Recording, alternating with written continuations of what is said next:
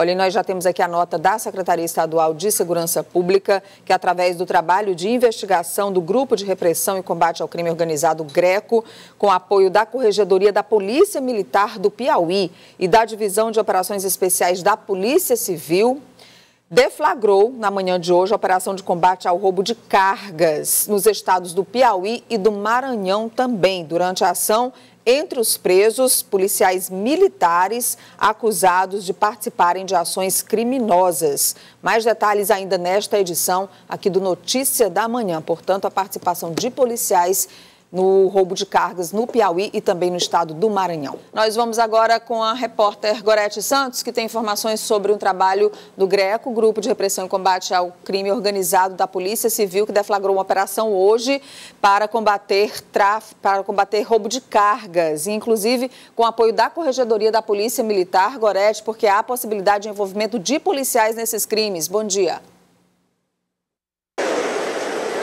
Bom dia mais uma vez, Nádia, a você a todos que acompanham a notícia da manhã, exatamente por esse motivo. Né? Essa operação comandada pelo Greco, ela tem a participação, tem o apoio da Corredoria da Polícia Militar, alguns representantes lá dentro, também do BOP, da Polícia Militar também, além da divisão de operações especiais da Polícia Civil no combate a essa organização criminosa que atuava roubando cargas aqui no estado do Piauí e também no estado do Maranhão.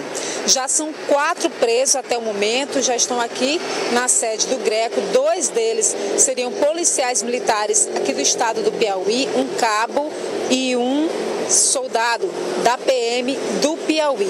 Há um quinto mandado de prisão também, que a gente não tem informações ainda se já foi cumprido.